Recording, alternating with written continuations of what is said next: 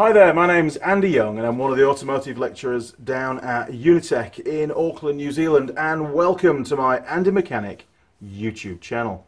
Now we've got a Yamaha Grizzly 450 four-wheel drive quad bike on the hoist. This machine has been in before and I've done a few videos in the past covering servicing and brakes and other bits and pieces on there.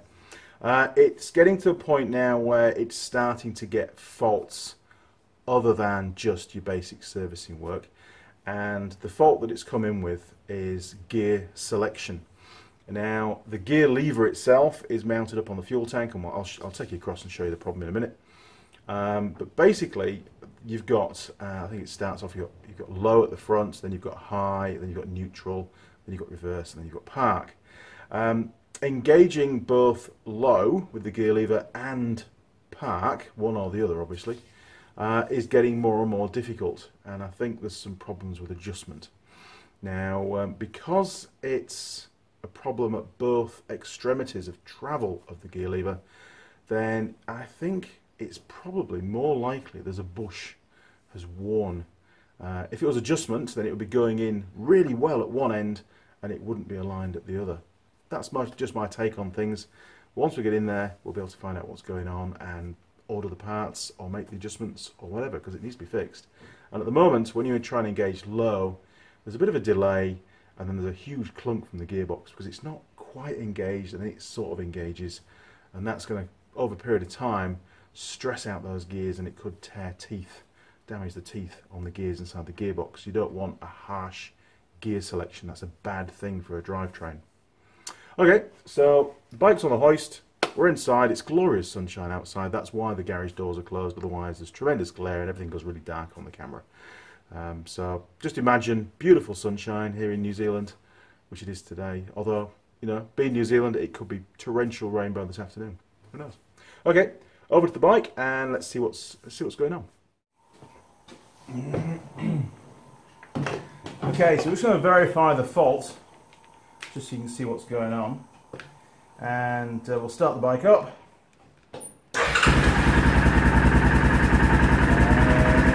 Shut off four-wheel drive, there we go, and gear lever, we're in neutral at the moment. Want to go into high, that's fine, go into low. There you go. So we have no, we had no drive to start off with. Back into neutral, back into low. See I'm on the gas, and it takes a delay for engagement. If I go back into reverse, and then go back into low. Hey, there you go. Okay, perfect. Right, let's take some panels off and see what's going on.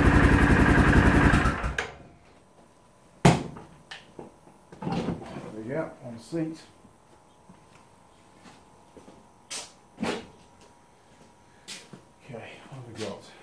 this one out of the way.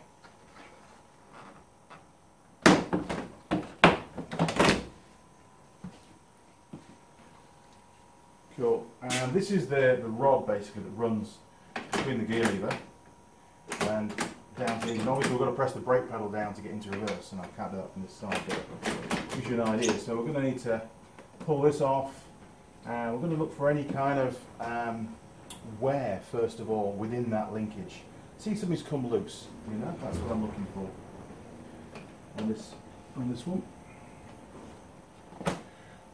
Okay, so we're going to need number eight.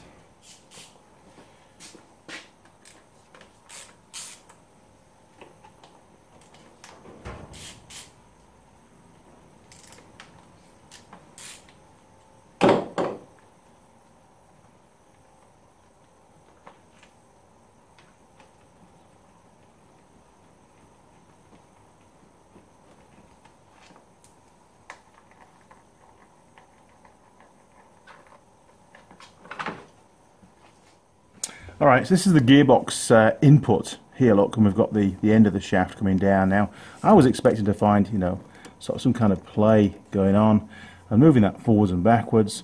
Okay, there's a little tiny bit of play in that rose joint there, look, but I don't think that's the, uh, the problem here. I think it could just be some adjustment required. So we'll check the other end up by the gear lever, see how easy that is to get to. And if there's no play on there, and I can't really feel much, uh, then we'll just give it a go adjusting this rod and see if that cures the problem. Right, I think we'll uh, get rid of the old fuel tank cover. That'll give us a bit more room to get in there. I'm not entirely sure how this, this cowling comes off, if it can come off, but at least if we can uh, get a visual on the, the top end rose joint and to make sure that that lock looks nice and tight as well. And we can also get some lube into the linkage.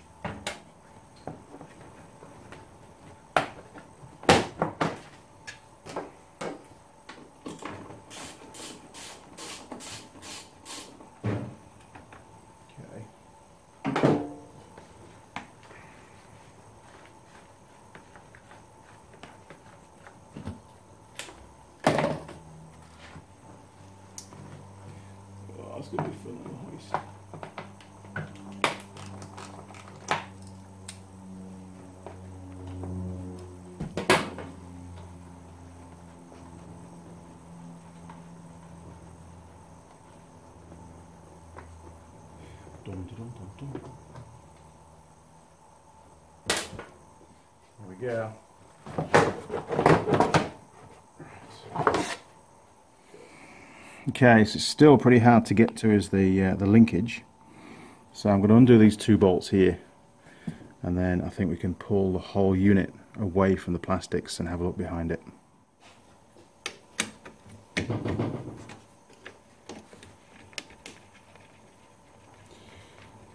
None of this has ever been apart. This is the first time I think. By the looks of it.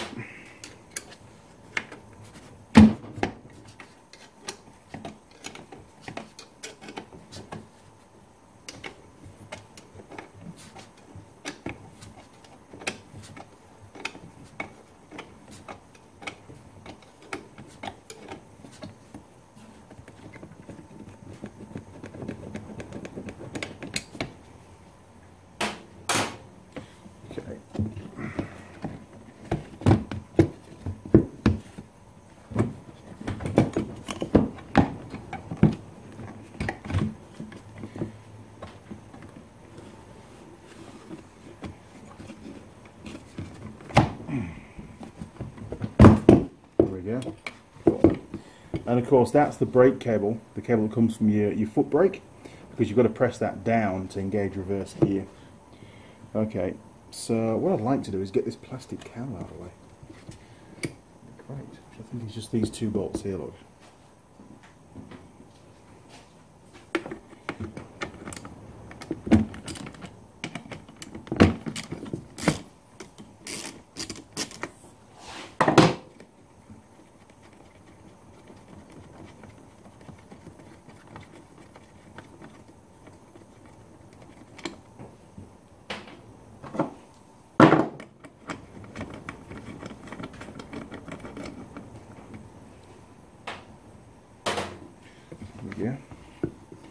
And we've got a couple little clips on this side, haven't we? Okay, so a little flat screwdriver should ping those off out of the way. And then get in there and have a really good look at that linkage. Don't stab yourself, Mr. Young. Let's choose something really pointed to stab myself with if I'm going to do it.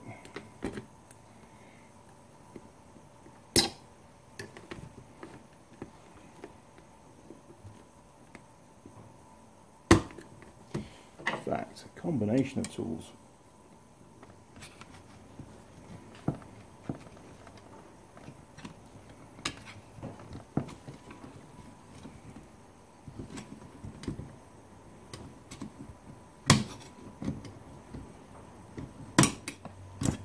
Yeah. Oakley dokley. Right. And on the gear lever there'll be a little screw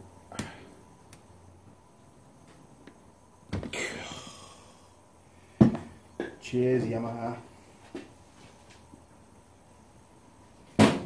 Made my day. Okay, get rid of that now. Okay, so we're pretty much about as stripped down as we're going to get with this one. And I've done this really to show you what's inside as opposed to just fixing the problem because once you can see what's inside and how it works, then you've got an idea of what you need to do to fix it. Now, we've got obviously the gear lever here. There's no um, indentation anymore. That's given to us purely the gate is done by the plastics, you know, as, as the, the lever drops into here. So there's no, oh, there's no steel gate as such. It's just all plastic, and you can see that's the plunger here from the brake lever, the, the foot pedal, and it purely prevents the lever from going down into reverse until that's pulled. Then it locks into their lock. And then again, you've got park, which will be the next one along. And that'll be the, about the extent of its travel. That'll be the park position.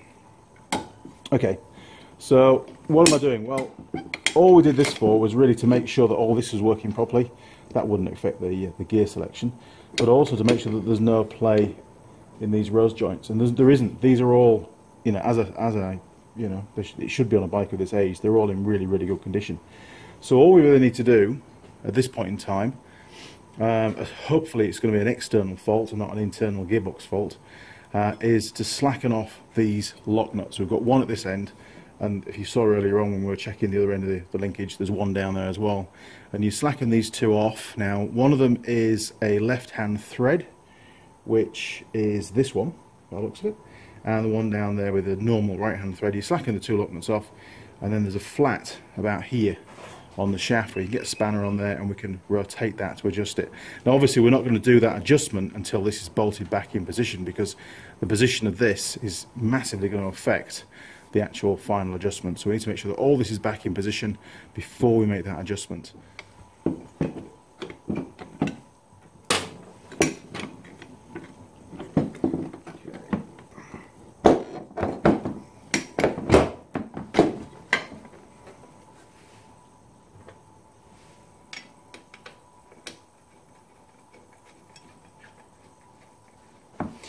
Think whenever you remove this, you'd have to readjust the length of that rod anyway, because this is not going to be very accurately located on the bike. It's going to be in a slightly different position, which means that the adjustment will be out. So if you rebuilt your quad bike and you've taken this bit off, you really should double check your adjustment on that rod. Okay, yeah, you can see there, look, quite a lot of play on it.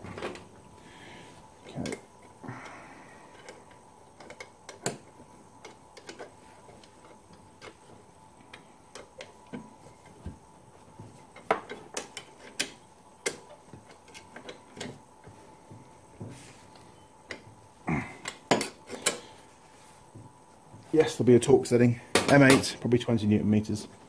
Okay, so that's now bolted back in position. I think getting this cover back on is a bit of a pain, but I'll uh, get the bolts in, but we'll work that one out. Shouldn't be. She shouldn't be impossible. Okay, right.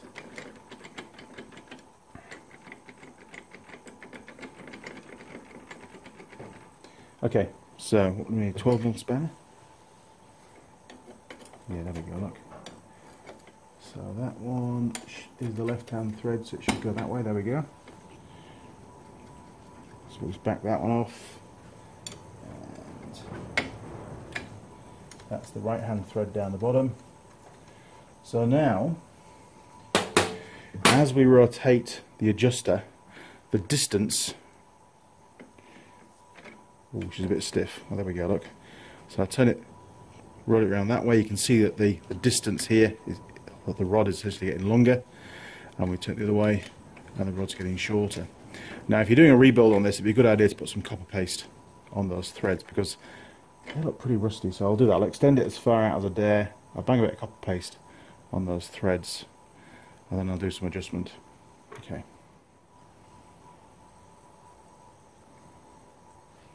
And that's going to help the guy next time round, that's for sure. Don't want all that rusting up. Okay, so we'll just feed that back in now. Run that copper paste into the threads much nicer. Look at that. So you can see how it adjusts pretty easy. So I'm going to drop the bike down to the ground, play around with the adjustment a little bit, varying lengths of that rod to see if I can get it to be adjusted correctly. Now, I suppose ideally really I should have the gate on as well because we want this to be sat in a particular position to engage a particular gear. So I'm just going to have to work my way in and try and tighten that up with a spanner once we've finished. Yeah, so I'll refit that uh, that cover now. Now, just before I do that, I'm just going to grease up, and I've got some, what's this stuff, 3-in-1 professional white lithium grease in an aerosol. Really useful for this kind of stuff and ideal. So I'm just going to spray all the linkage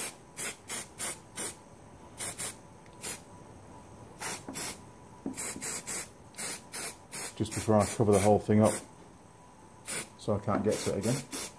Um, there's no grease nipples on here unfortunately which is a bit of a shame but hey there are limits.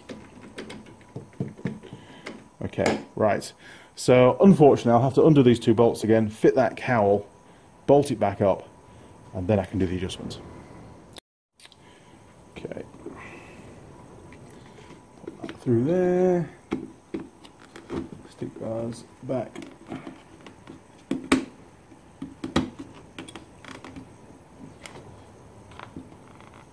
There, there we go, and two bolts to go on on this end.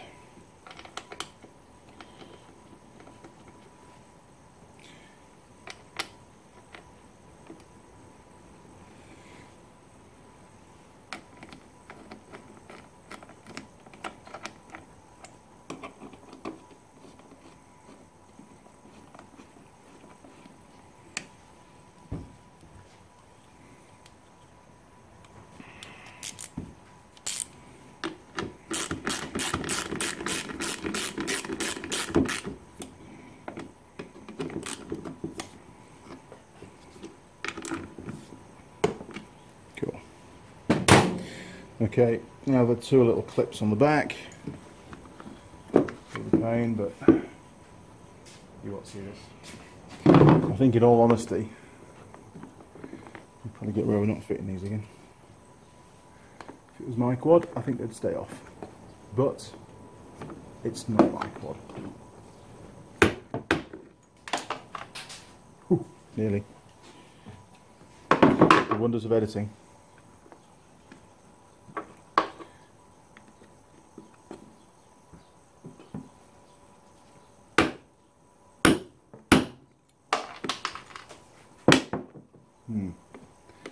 Okay. Yeah, it's going to have to go on. You get some rough rider that's banging that across there. It could actually pop those out. So they're going to have to go in. Okay. Not really a lot of fun, but we'll give it a go.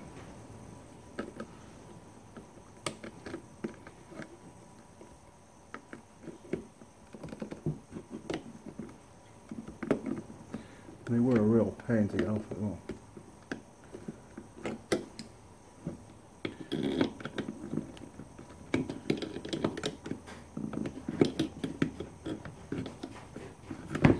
So uh, if you don't need to take them off, don't bother.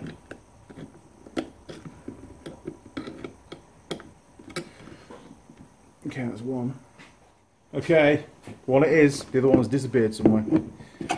Welcome to the real world. Okay, so pop that back in there.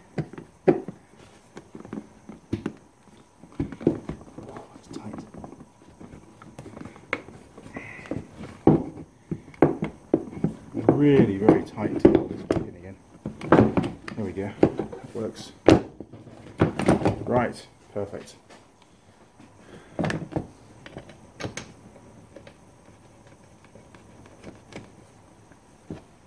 Again.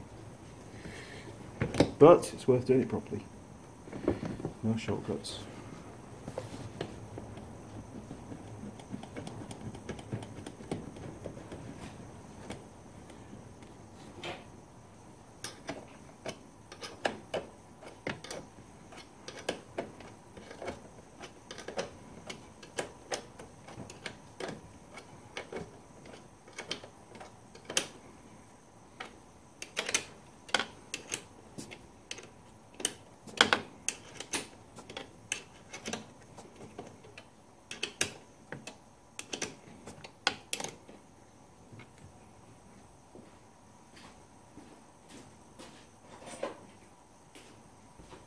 All right, let's give those a final tweak.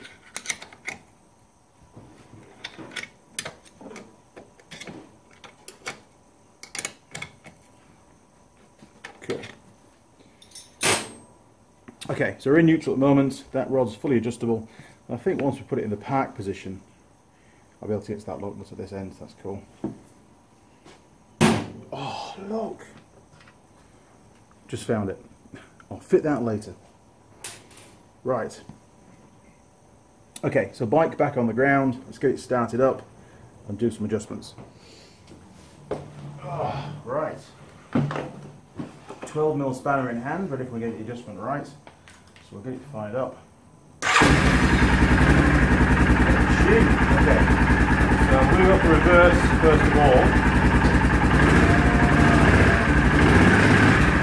Okay, got that. Let's go back to low. Okay, that's more than it was.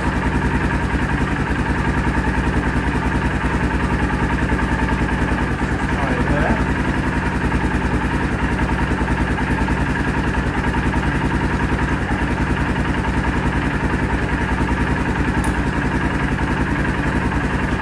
Back to neutral. All good. Reverse. Nice and straight. Low. Not quite slick. Okay, so just extend that roll a bit. Back into low.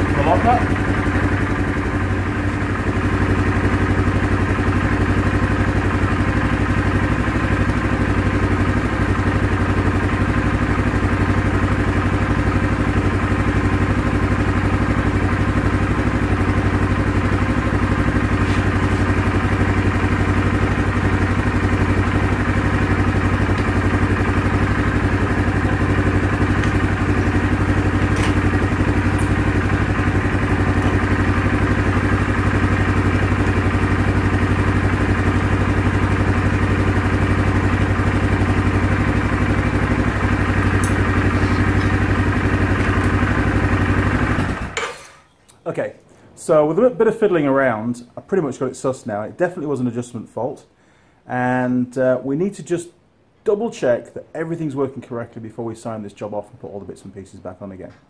So the first one that I've noticed is you've got two aspects to this. You've got the actual physical gear engagement, and you've also got the lights on the dash because we've got um, a gear position indicator on the dash on the bike as well. And it's really important that the lights respective to each gear do come on immediately and there's no delay. And that tells us that the actual uh, shaft or the, the gear has been correctly engaged inside the gearbox. It's basically fully engaged. So I'm going to run through the gears showing you the lights on the dash and then I'll also put to camera the position of the gear lever going into gear as well. Now I'm doing this sort of whilst riding the bike so I'm moving the camera around so please forgive the crappy photography. I have tried to mount the camera on the bike but there's too much vibration and the, the, the image is crap so we'll give it a go. Here we go. Okay so we're in the neutral position now and you can see that by the neutral light on here. I'm going to start the machine up which is one there and first of all we're going to go for reverse so we put the lever into reverse and you can see immediately, there's neutral again, immediately we get the reverse light and press the throttle and the bike should immediately go backwards, there we go look, without any kind of clunks or delays. Foot back on the brake pedal again. And we'll put it into neutral, high, there we go, back on the gas, yep, that's cool, back into reverse again, bring the bike back, oh, neutral, into reverse, there we go, bring the bike back, and then we're going to go for low ratio, that was the problem gear before, into low, press the gas, there we go, look, and away we go, no, no clunks, no bangs, no nothing, back into reverse, give it another go, and back into low again, for the gas, and forwards we go. Okay, well, into park, there we go, there's your park. You've normally got to rock these bikes a little bit to get the park light to come on, that's quite normal. And for low ratio, there we go. Cool. Right, really happy with that. So the adjustment, it's not uh, a really easy task. It's a bit fiddly, you know, because you've got to lock the lock nuts every time that you make a bit of adjustment.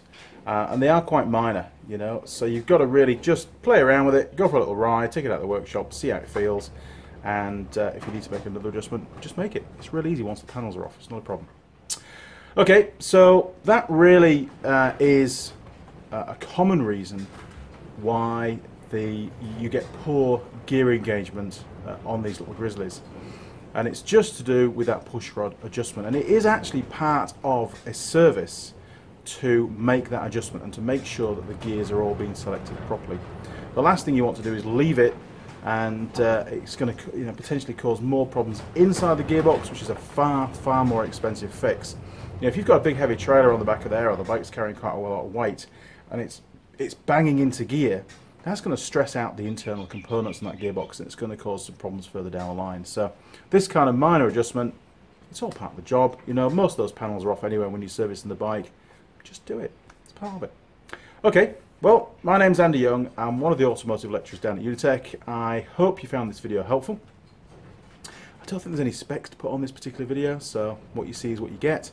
Um, if you'd like to subscribe, then click on the subscribe button. And if you want notifications as and when any new videos get uploaded, then click on the, the subscribe, click on notifications, and tick the box. Uh, and that way that'll happen. You'll also find me on Facebook, Instagram, Google Plus, and Twitter as well. So you can communicate through those any of those portals to me. But I would prefer, if possible, please, to communicate through YouTube. Just put a comment down there, and I will get back to you as soon as I possibly can. Okay, well, hopefully it was helpful to you. Cheers, over and out.